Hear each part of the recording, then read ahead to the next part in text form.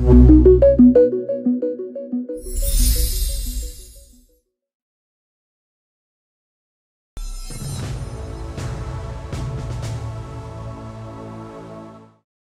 pemirsa, hujan deras juga mengguyur Ponorogo, Trenggalek, Jawa Timur. Pelayanan di Rumah Sakit Umum Daerah Dr. Sutomo lumpuh akibat banjir. Banjir juga membuat uh, rumah dan jalanan di sejumlah wilayah di Jawa Timur kebanjiran hingga membuat ratusan warga mengungsi.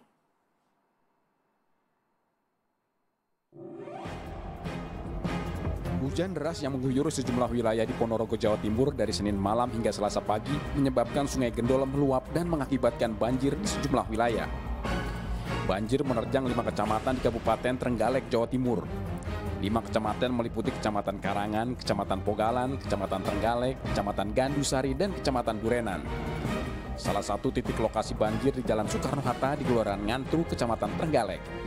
Di sini ketinggian air mencapai 1 meter. Akibatnya arus lalu lintas dari dua arah tertutup total dan dialihkan melalui jalur lain. Banjir juga menghampiri rumah warga. Banjir terparah di Kelurahan Tamanan. Ketinggian banjir mencapai satu setengah meter. Banjir juga menutup akses jalan provinsi yang menghubungkan Kabupaten Ponorogo, Trenggalek, dan Tulung Agung, Jawa Timur. Jalan sepanjang lebih dari 2 km tertutup banjir.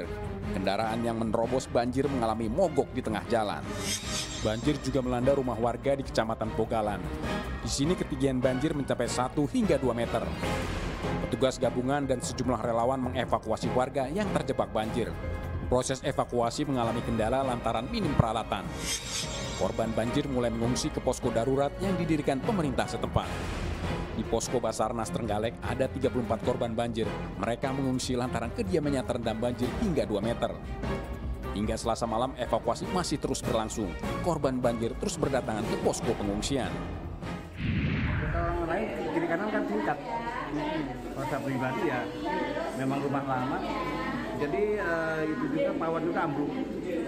Ambruk. Kalau lihat itu, uh, kondisi memang rumahnya udah lama. Belakangnya di sini pondok. Belakang itu. Jadi ya di sini juga bertahan, nggak bertahan ya antara dua jam baru datang hujan. Itu pun saya bisa keluar keluar dari atas. Banjir tidak hanya merendam jalan raya dan pemukiman warga, tapi juga menerjang rumah sakit daerah Dr. Sudomo. Ketinggian banjir mencapai 1 meter. Akibatnya pelayanan rumah sakit lumpuh total. Untuk sementara pihak rumah sakit tidak bisa menerima pasien.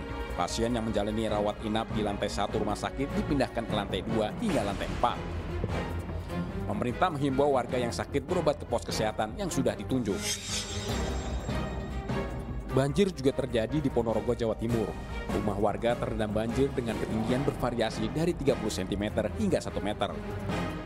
Akses jalan penghubung Ponorogo menuju Trenggalek ditutup sementara karena membahayakan pengguna jalan. Tercatat ada lima desa di tiga kecamatan terendam banjir. Akibatnya aktivitas warga terganggu. Petugas BPBD dan kepolisian setempat berjaga di lokasi mengantisipasi jika air sungai Gendol kembali meluap. Hujan deras di Ponorogo menimbulkan korban luka.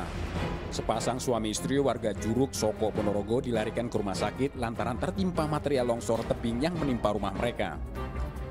Korban misi mengalami patah tulang tangan kiri, sedangkan korban selamat menderita luka ringan. Demikian laporan Aris Sutikno dari Trenggalek dan Ponorogo, Jawa Timur.